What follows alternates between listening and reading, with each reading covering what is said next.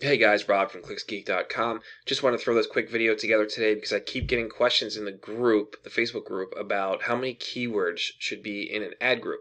Now, there is no right or wrong answer to that question. I have ad groups that have three keywords in them, and I have ad groups that have 100 keywords in them.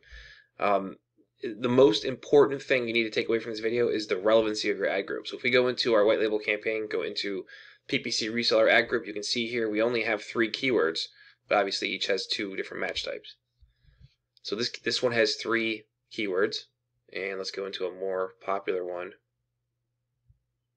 White label PPC service. Oh, this one only has two. Let's try agency. Agency's got a few.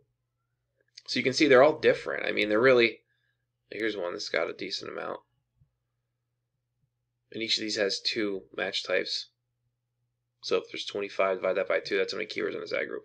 So that that's really it. I mean, it it doesn't matter. Yeah, the more keywords in your ad group, the more coverage you're going to have. But it's more important to have them more tightly themed. Like this is, I could even go farther than this with this ad group. Like Google AdWords white label agency, I can create an agency ad group um, white label companies. I can create a Google AdWords white label company ad group service. I, I mean, I, you can keep going on and on. It just depends how much time you have and how in depth you want to go. But yeah, so I hope that helps answer some questions. There is no right or wrong answer.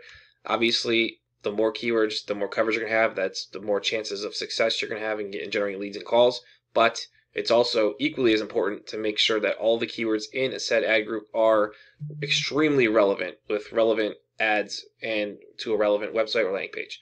Okay, so if you have any uh, questions, anything like that, drop them in the comments below this video and don't forget to subscribe to our channel and check out the description of this video. I put some cool stuff in there for you guys.